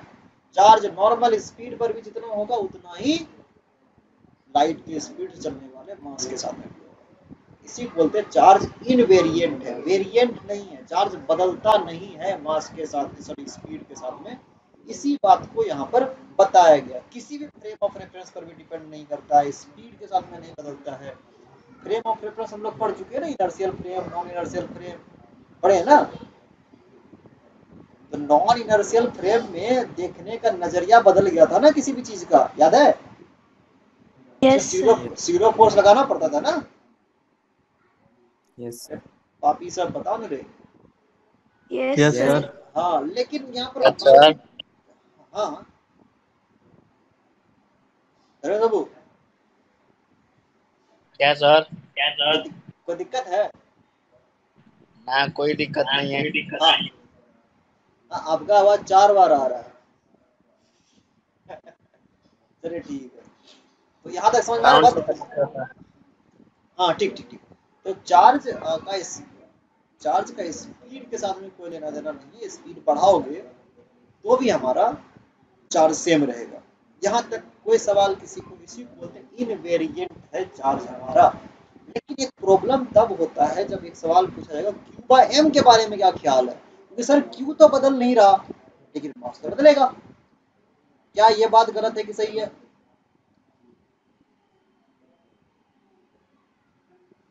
सर क्यू तो नहीं बदल रहा लेकिन वज़न तो बदलेगा ना स्पीड के साथ में। और चार्ज चार्ज तो मास पे स्टिक करता है। उसको तो बैठना पड़ेगा जब मास के साथ में एसोसिएटेड होता है। अगर मास दौड़ रहा है चार्ज दौड़ रहा है तो, तो मतलब मास ही दौड़ रहा है। मेरी बात समझ में आई कि नहीं आई? ये लाइन समझ में आया कि नहीं आया? अगर हम कह रहे कोई चार्ज भाग रहा है तो ठीक है चार्ज नहीं बदलेगा। सर मास तो बदल रहा होगा। अगर लाइट का स्पीड अप्रोच करवा दीजिएगा उस बॉडी को मेरी बात समझ में आ रही ना? यस सर तब तो फिर मामला खराब हो जाएगा उसका। तब तो फिर क्यू बाय एम, जिसको कि हम क्यू बाय एम को बेसिकली लिखते क्या है? पहले ये लिखो। क्यू बाय एम को बोलते हैं स्पेसिफिक चार्ज क्या उसको स्पेसिफिक चार्ज स्पेसिफिक चार्ज हमारा, देखो ये एम अगर हमारा इन्फिनिटी को अप्रोच करेगा तो क्यू बाय एम किसको अप्रोच करेगा? ज़ीरो को, यानी कि स्पेसिफिक चार्ज क्या हो जाएगा? ज़ीरो की तरफ़ अप्रोच करेगा क्या? आ रही बात समझ में?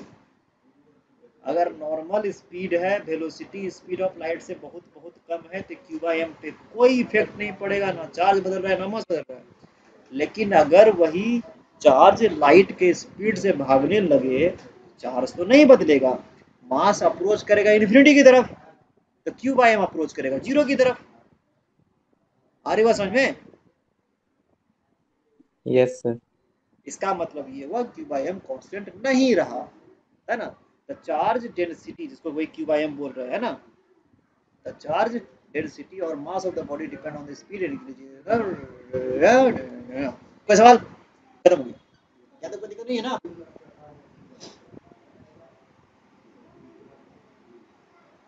फिर से sir. बोले फिर से बोले इस पूरे कहानी को।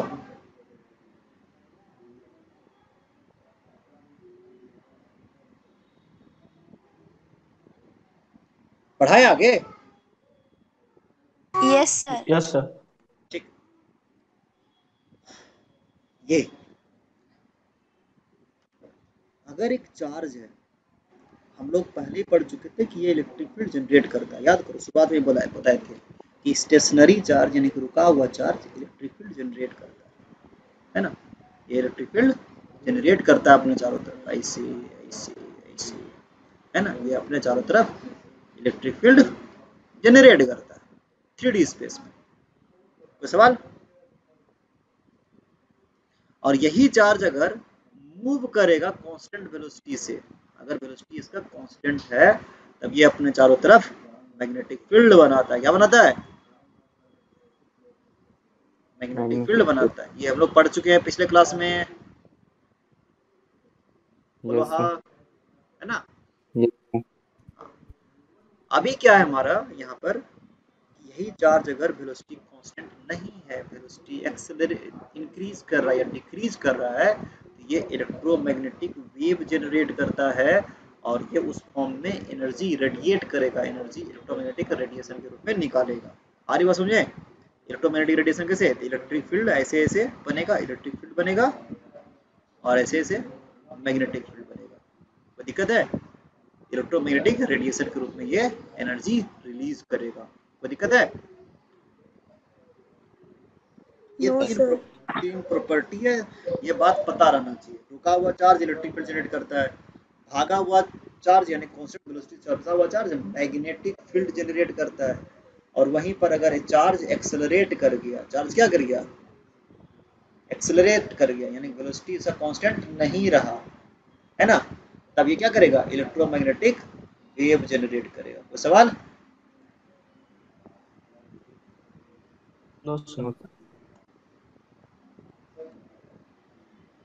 और अपना है क्वार्क कोई भी मैटर जो था हमारा हमारे न्यूक्लियस के अंदर में दो चीज़ होता है प्रोटॉन और न्यूट्रॉन ये कुछ चीज़ समझ लो। आ, हम तुम लोग में से कितने लोग ये सोचते हो इलेक्ट्रॉन, प्रोटॉन और न्यूट्रॉन तीनों भाई भाई टाइप का चीज़ है। मतलब सब एक के बिरादरी का है। जैसे नहीं समझ में आ रहा मेरा बात। हम कहते हैं ना, ये एकदम सिंपल सा है हैं। सेल है सेल इतना समझते हो सेल। सेल समझ में आता है ना जी? अरे structural and fundamental unit of the body yes sir biology वाले अच्छा। स्टूडेंट जानते हो। हाँ सेल किससे बना है मॉलिक्यूल से बना है। मॉलिक्यूल किससे बना है? सर एटम से बना है। और एटम किससे बना है पेन से बना है। अरे प्रोटॉन न्यूट्रॉन न्यूट्रॉन से बना है? यस सर इसमें कोई सवाल किसी को? नो सर नो सर ये दिक्कत जानता है क्या? है अरे चल। दिक्कत पता है क्या है? जब हम ऐसा बोल रहे हैं ना, दिक्कत यहीं पर है। जब लोग ऐसा सोचते थे कि एन से बना चलो एक्चुअली में क्या था? एटम जो है है ना, कम से कम 200 प्लस तरह के फंडामेंटल पार्टिकल से बना। फंडामेंटल पार्टिकल से बना। उसमें से कुछ इलेक्ट्रॉन्स हैं, कुछ क्वार्क ठीक है? कुछ ग्लूऑन्स हैं म्यूऑन्स हैं। बहुत तरह के पार्टिकल्स है ना? बहुत तरह के पार्टिकल्स एटसेट्रा 200 से ज़्यादा फंडामेंटल पार्टिकल्स हैं। मेरी बात समझ में आ रही है? अब जब हम बोल रहे हैं कि फंडामेंटल पार्टिकल प्रोटॉन और न्यूट्रॉन नहीं है तो इसको थोड़ा ध्यान से समझ लो। इलेक्ट्रॉन फंडामेंटल पार्टिकल है प्रोटॉन नहीं है। प्रोटॉन और न्यूट्रॉन जो होता है, ये एक अप एक लेवल अप का चीज़ है। सपोज़ करो कि electron up quark down quark muon ये सब जो है, ये सब भाई भाई है। सब एक लेवल का चीज़ है। इससे एक लेवल अप का चीज़ है प्रोटॉन और न्यूट्रॉन यानी कि प्रोटॉन जो होता है, ये क्वार्क से बना होता है। कोई दिक्कत है? किससे बना होता है? ये देखो अंदर घुस गए हम आप बात को एटॉमिक स्ट्रक्चर में तुम लोगों ने पढ़ा होगा कि एटम प्रोटॉन इलेक्ट्रॉन न्यूट्रॉन वगैरह से बना है ना? जी यहाँ तक तो तुम लोग जानते हो ना? यस सर हाँ जब हम प्रोटॉन को एक हथौड़ा मार दिए जब वो टूट गया तो हमको अंदर में दिखा क्वार्क क्या दिखा? क्वार्क हाँ तो एक प्रोटॉन के अंदर में दो अप क्वार्क होते हैं और एक डाउन क्वार्क होते हैं। और एक न्यूट्रॉन के अंदर में दो डाउन क्वार्क होते हैं और एक अप क्वार्क होता है। कोई दिक्कत है? और इसका जो चार्ज होता है अप क्वार्क का, थोड़ा ध्यान से देखो और तुम लोग का थोड़ा एक मामला खसकने वाला छड़ खसकने वाला दिमाग का। अप क्वार्क को यू से दिखाते हैं, उसका चार्ज प्लस में टू बाई थ्री ई है। देखो, चार्ज मेरा कैसा है? देखो, ध्यान से। क्वांटाइज्ड है क्या?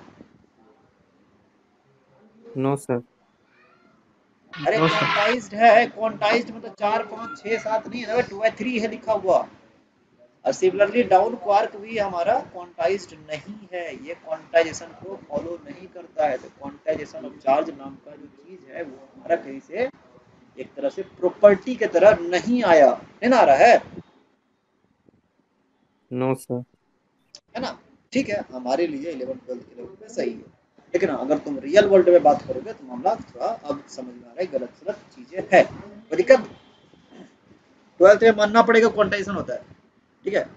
तो अभी क्या हुआ यहाँ पर कि अगर प्रोटॉन को देखा गया अंदर में जाकर के तो क्या है उसके प्रोटॉन के अंदर में? दो अप क्वार्क है और एक डाउन क्वार्क है। तो प्रोटोन में क्या क्या है बोलो?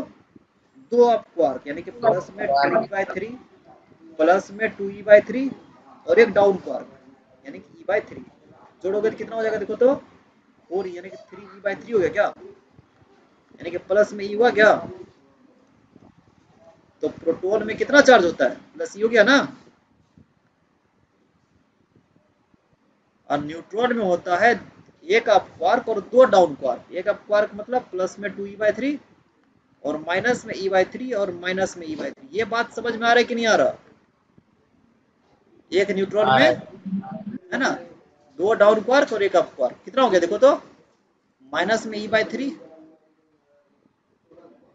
sorry zero हो गया क्या?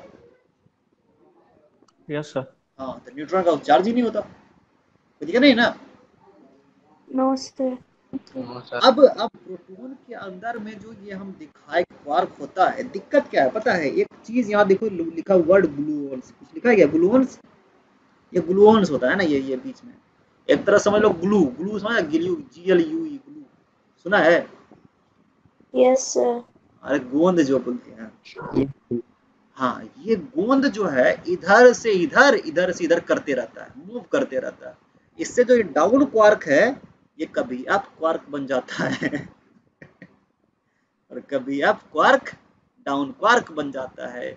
इस तीनों में इंटरचेंज होते रहता है और अपना इसका एक मामला दूसरे लेवल पर पहुँच गया इसलिए हमारे सिलेबस से अब हटा रहे हैं हटा रहे हैं। इतना डेप्थ में जाने का कोई ज़रूरत हमें नहीं है।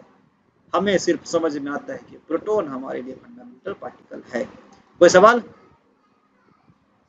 नो सर एनसीईआरटी बस इस बात को छेड़ दिया है तो इसलिए हम यहाँ पर छेड़ दिए इस बात को। कोई दिक्कत नहीं है लेकिन हमारे किसी काम के लिए लॉजिक नहीं है। कोई दिक्कत? सर तब तो प्रोटॉन का भी न्यूट्रॉन भी बन जाता होगा। क्या बात है एकदम बनेगा। हम लोग सब बनाएँगे। कैसे बनेगा सर? इसमें तो सर दो अप क्वार्क डाउन क्वार्क है इसमें दो डाउन क्वार्क प्रोटॉन है ना प्रोटॉन है ना इसका वज़न कितना है सर? वन और प्लस वन है ना सर? ये न्यूट्रॉन बनाना है ना सर? बनाना है ना? यस सर ओ बन गया सर।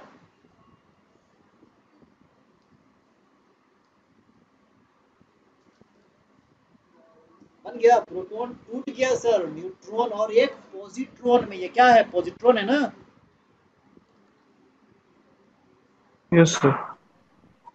और क्या हो रहा है सर? ये आप सर पूरा फिजिक्स को तबाह कर दीजिएगा। केमिस्ट्री में क्या क्या पढ़े थे क्या क्या अरमान थे हमारे। न्यूट्रॉन टूट रहा है सर, ये देखिए।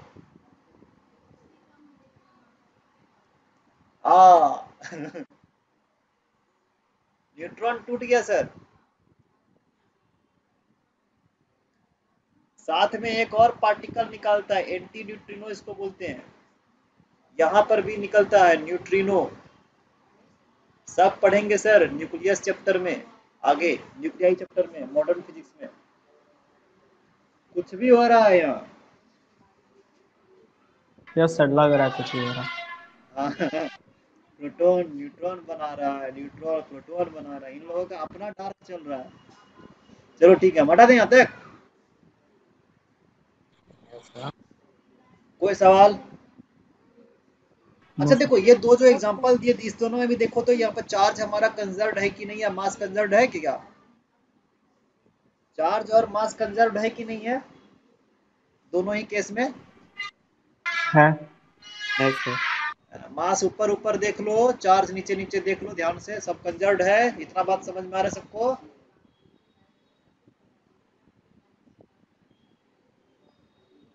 है ना?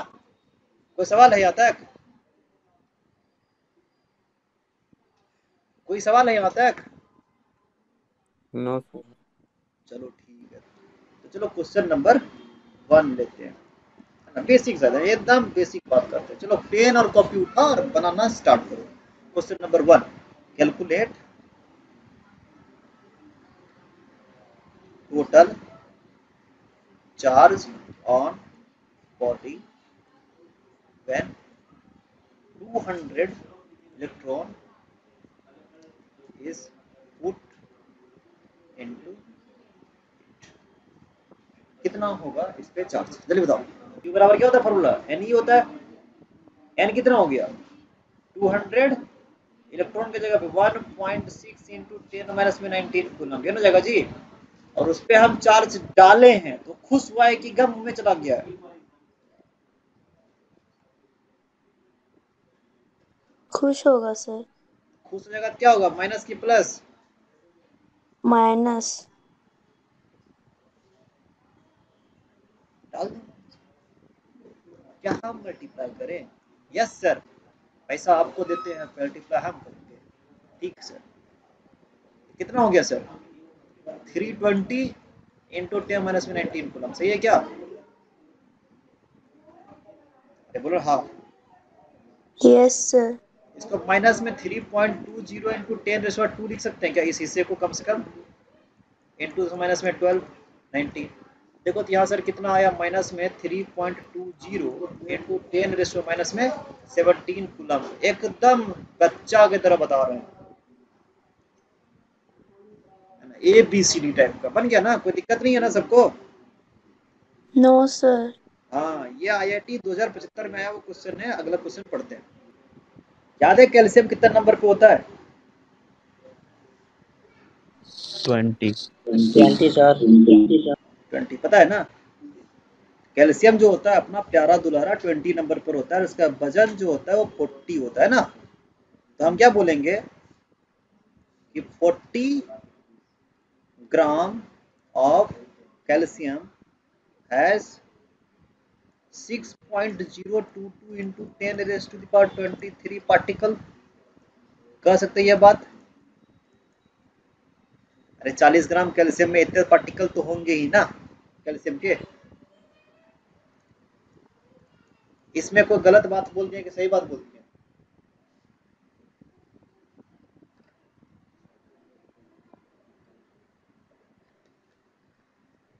हेलो यस सर यहाँ तक ठीक है ना जी? यस सर सर 200 ग्राम में कितना हो जाएगा? 6.022 into 10 raised to power 23 into 200 upon 40 यानी कि पाँच। से मल्टीप्लाई कर दो. तो Yes, sir. Five into six point zero two two into ten raise to twenty three particle C A का आ रहा है। ठीक है? यानी इतने तो सी ए हैं। और हमको एक बात दिख रहा है कि एक एक कैल्शियम पे दो दो को गम है। है क्या? Yes, sir. टोटल जो गम है टोटल गम ऑफ़ कैल्शियम वो कितना है? दो गुना पाँच गुना six point zero two two into ten raise to twenty three सही लिखें क्या? अरे एक कैल्शियम पे दो इलेक्ट्रॉन की डिफिशियंसी है। सर आपके पास देखिए कितना कैल्शियम है। इतना इंटू टू हो जाएगा ना डिफिशियंसी Yes, sir. अगर आप पूछे टोटल चार्ज कितना है इसके ऊपर तो टोटल चार्ज बराबर क्या बोलिएगा? एन ई एन तो इतना ही है ना?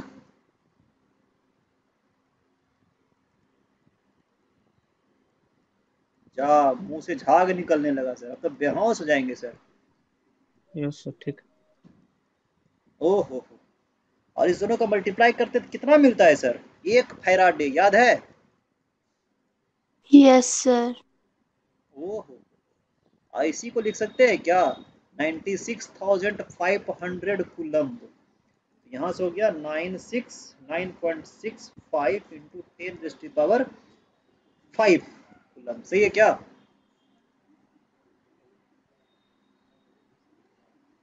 Yes, sir. मज़ा आ गया? Yes, sir. आगे बढ़ा जाए। किसी को कोई डाउट है तकलीफ़ है प्रॉब्लम है कष्ट है परेशानी है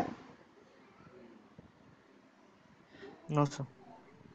क्या हम बनाए कि तुम लोग बना लोगे? बना लेंगे सर। हाँ, ये हुई ना बात। आज हम गर्दा उड़ा देना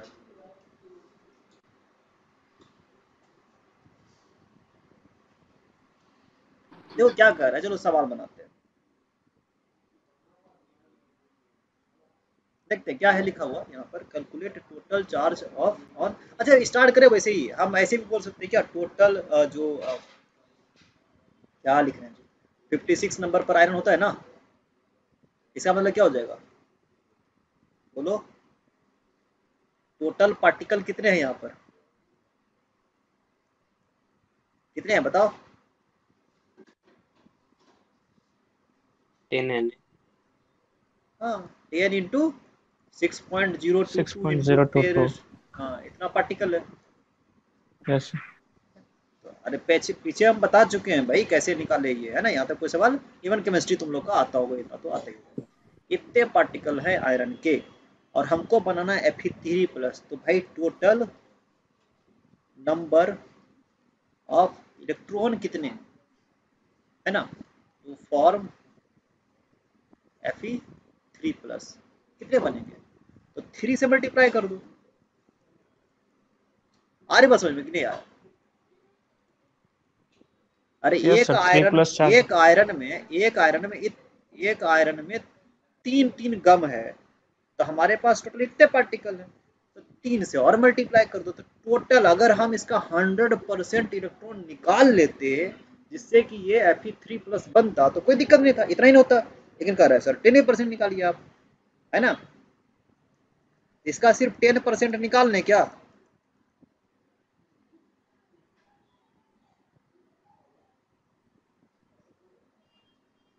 जितना भी है टोटल का टेन परसेंट हो गया ये। तो टोटल चार्ज कितना हो गया बोलो? एन ई एन कितना हो गया ना?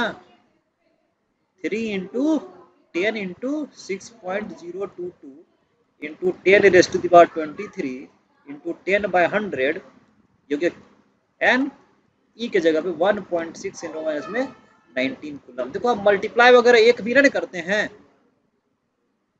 और इस दोनों को मल्टीप्लाई करते हमको मिलता है एक फैराडे और ये तो गया।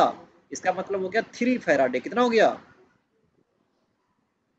थ्री मतलब three into ninety six thousand five hundred बाकी मल्टीप्लाई मल्टीप्लाई करोगे तो इतना कुलम तो आ ही जाएगा। सवाल? नौ सौ नौ सौ तो आ, अच्छा क्वांटाइजेशन से अब सवाल बन जाएगा कि नहीं बनेगा? बन जाएगा। है ना? एक सवाल तुमसे पूछेगा कि मतलब ऐसे ही बेढंगा सवाल है। तुमसे हम उम्मीद करते हैं कि बन जाना चाहिए। Can 4.8 into 10 is power minus में। uh, 20 कितना? 25 coulomb ऑफ़ चार्ज पॉसिबल और नॉट इतना हो सकता है कि नहीं हो सकता। तो हमको पता है कि क्यू बराबर क्या होता है? नहीं होता तो चार्ज दिया है इसने जी। कितने दिया? था four point eight into ten minus twenty five बराबर N into one point six minus nineteen लिख देते हैं। ये तो थ्री हो गया क्या?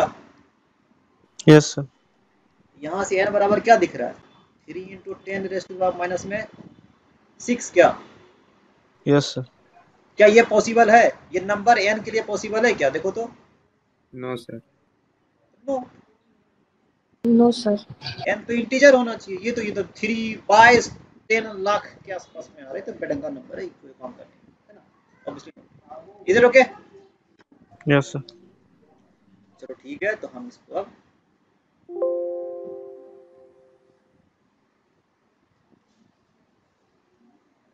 अगला पीडीएफ भी दिखा देते हैं थोड़ा सा ठीक है? जो बना हुआ है जल्दी से कट जाता है।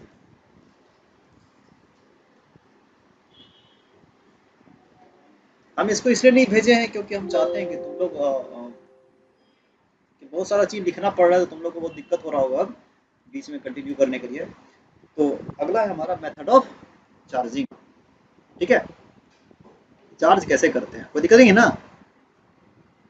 No, sir.